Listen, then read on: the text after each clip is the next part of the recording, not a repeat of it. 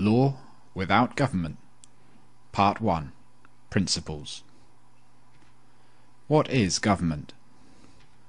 Government is defined as a territorial monopolist in the field of producing law. It is the sole provider of law, the ultimate decision maker, arbitrator, and wielder of force within a territory. As a monopoly, it maintains its position by using aggression, the use or threat of violence, to prevent competing providers of law from emerging. Government is the only organization that uses the political means, that is, the widely accepted use of aggression to attain wealth. For example, the monopolist declares its own acts of theft to be legal, calling it taxation and enforcing compliance. Everyone else must attain wealth using the economic means, producing something of value to others, and then engaging in voluntary acts of trade. Government is a territorial monopolist of law. But what is law? Interpersonal conflicts are possible due to material scarcity of resources and goods, and diversity of interests between individuals. The potential for conflicts makes property rules and ownership rights necessary for social cooperation. For example, apples are scarce, and this means that if two people both want to eat a particular apple, they cannot both be satisfied. For conflict avoidance, we need property rules to establish who has the ownership right over the apple, that is, who has the right to decide how the apple is used. Laws are property rules that emerge from the resolution of conflicts. The production of law, the resolving of conflicts, is a service provided by an arbitrator or judge. Imagine two individuals stranded on a desert island, Adam and Ben.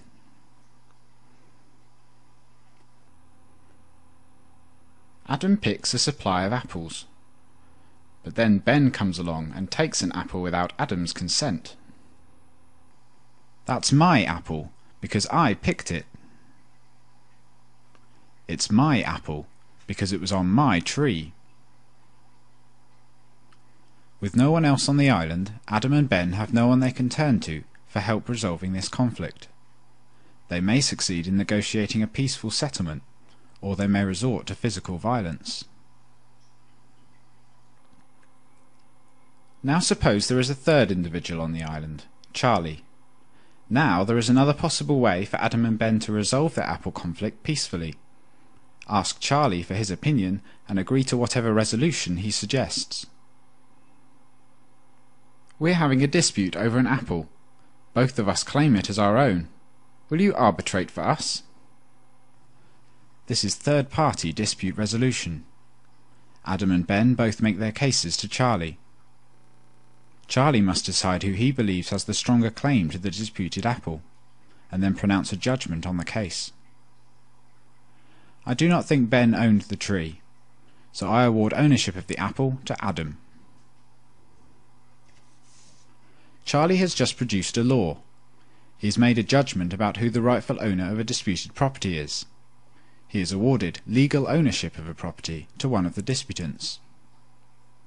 But Adam feels that it would be unjust if Ben only has to return the apple he stole. Adam wants Ben to be punished and wants compensation for having his time wasted. He insists that Ben pay him five additional apples, and then he will consider the matter settled. Unable to resolve this dispute between themselves, they ask Charlie for his opinion. Charlie recognizes the need to compensate Adam for his lost time, and to punish Ben. His opinion is that a payment of two additional apples from Ben to Adam would be a just resolution to this conflict. Since the purpose of Adam and Ben turning to Charlie was to help them resolve the dispute peacefully, both men will agree to his decision. If one of them does not, then they are back to having to resolve the conflict between themselves, either peacefully or otherwise. By arbitrating on a conflict and helping to resolve it peacefully, Charlie has produced a law.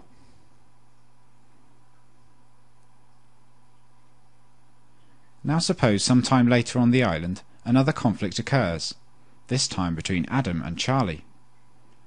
If they cannot resolve the dispute between themselves, they could ask Ben to arbitrate for them.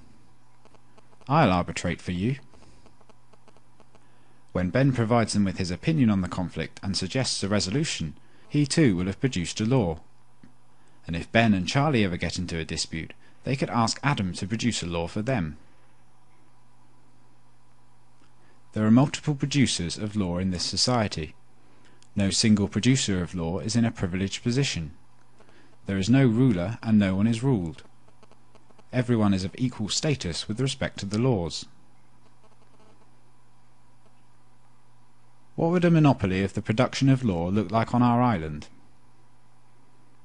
I'll arbitrate for you. No, you are not allowed to arbitrate. I am the only one who can produce law on this island. My law is the law. The injustice of this arrangement would be immediately apparent to both Adam and Ben. But that would mean that you even get to be judge in disputes you are involved in. And you could do whatever you want, like steal from us and order us around, and call it legal. That's right. I am the state. Charlie could only establish himself as ruler and maintain that position if he could somehow convince Adam and Ben that a ruler is necessary, and that with no ruler, anarchy, there would be chaos and disorder. If Charlie is able to maintain a monopoly of arbitration and ultimate decision making, he will have put himself above the law, and Adam and Ben can no longer be considered free men. Now suppose there are a few more individuals in this island society and two of them have a dispute that they cannot resolve peacefully among themselves. The disputants have a choice of arbitrators that might help them resolve the conflict. There is competition in the production of law. Who will they choose? The ideal arbitrator will be someone who is impartial and who has a good reputation for being fair, honest, and wise. With a larger population, some individuals who possess these qualities may find that they can make a living purely by providing arbitration services to disputants. They will be professional judges and may create firms selling laws. Their consumers will be disputants who need help resolving a conflict, and their income will depend on their reputation for making wise and fair decisions. If any one of them tries to become a monopolist, for example by insisting on being judge in a case involving himself or a member of his family, he will quickly lose his reputation and his livelihood. The principles of having competition in the field of law do not change as society becomes larger and more complex. In my next video, Law Without Government Part 2, I apply the principles outlined here to a large and complex society, explaining how law could be provided by competing firms. Where food production is monopolized by the government, it can be hard for the people to imagine how it could ever be any other way. They fear they may starve without government to plan and direct food production. They cannot imagine how a free market in food production could possibly work, let alone how much better off they would be with that system. They are too accustomed to having food provided for them by the government. We are accustomed to a society where the arbitration and law industry, the court system, is monopolized by the government. We fear chaos and disorder without government to plan and direct law. We find it hard to imagine how a free market in law could possibly work. In this video I'll outline how law and security could be provided by competing voluntary institutions.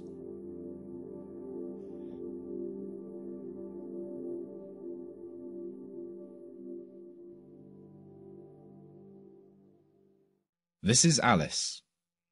Alice lives in a free society, where security and law are provided not by a government, but by competing firms. Like most people, Alice demands to feel secure in her person and property.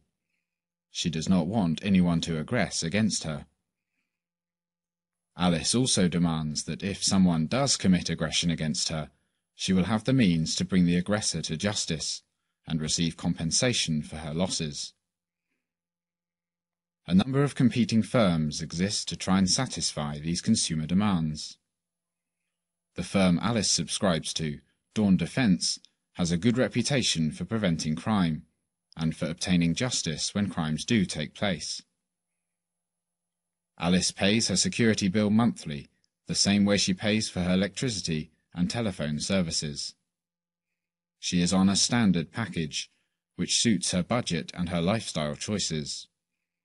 She has chosen an insurance option so that if someone steals from her, she is guaranteed quick compensation.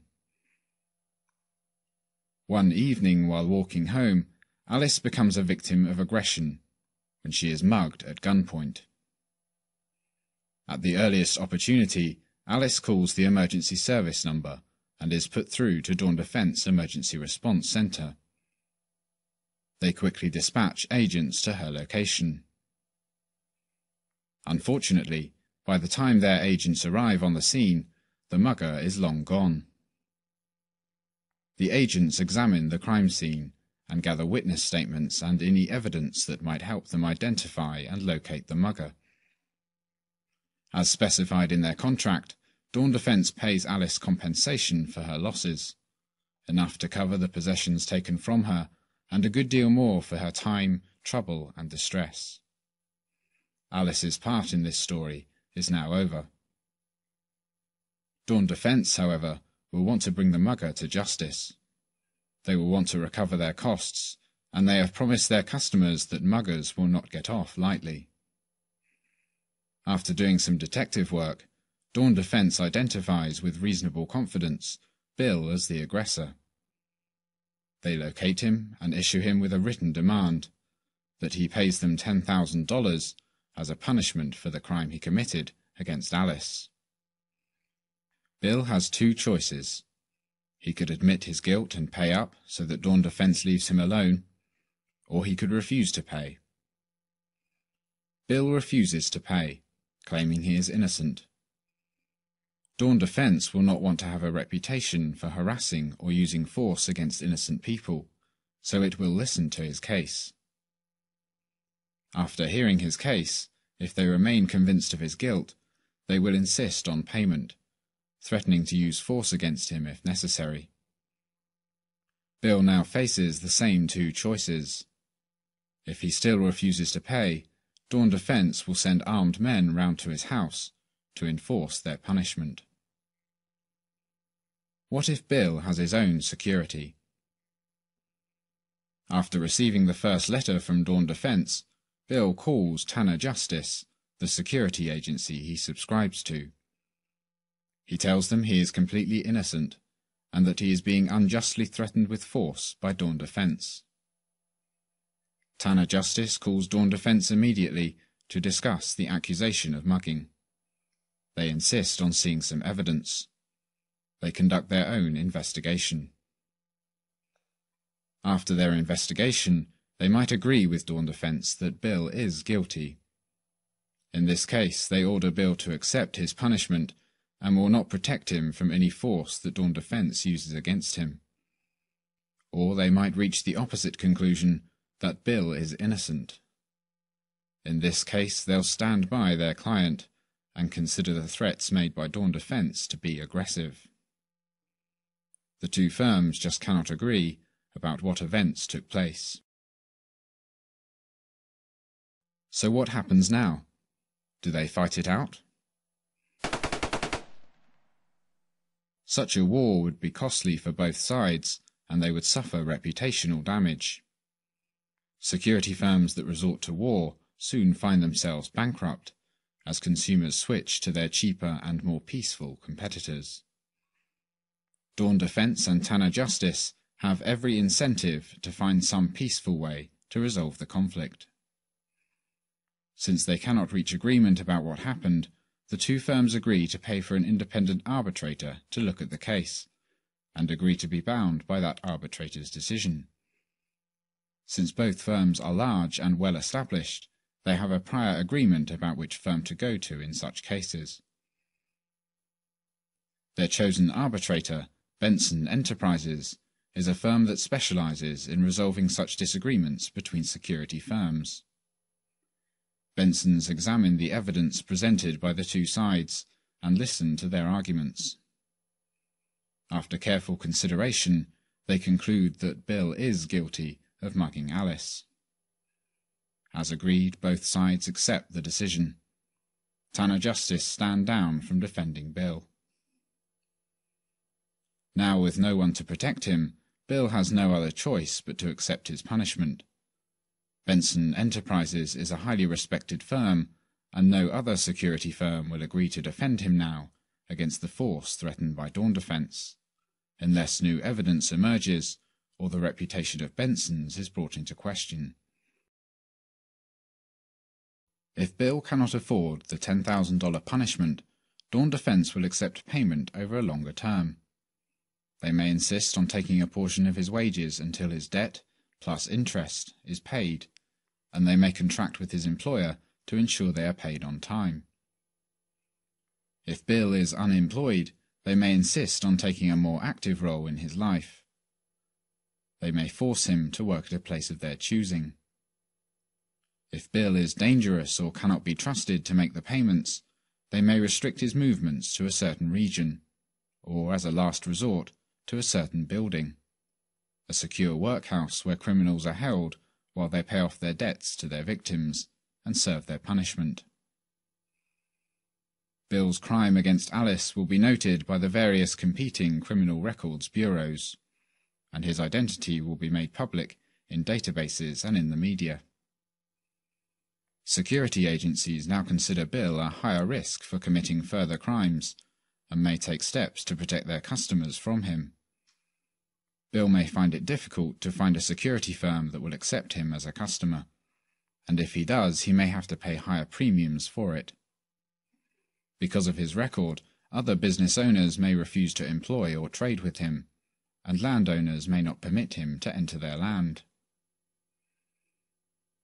The performance of the security agencies is noted by various competing watchdog organizations that provide consumers with information about the quality of security in arbitration firms.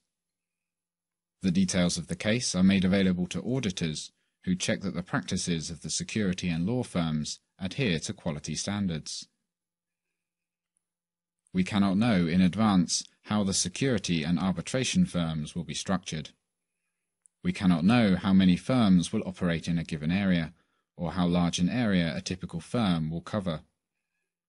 In this video, the two security firms performed a number of distinct functions themselves.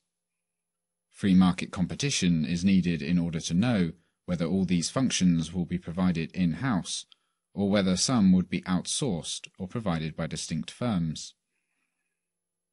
All these related industries keep the firms satisfying consumer demands for security and law true to their function of protecting individuals against aggression, serving justice, and maintaining order in society.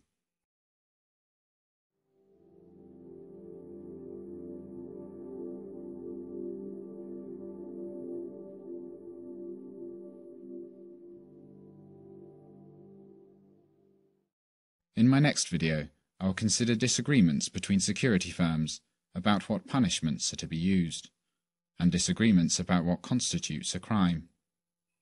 I'll go on to consider what laws and punishments we can expect to be produced by arbitration firms operating in a free market in law.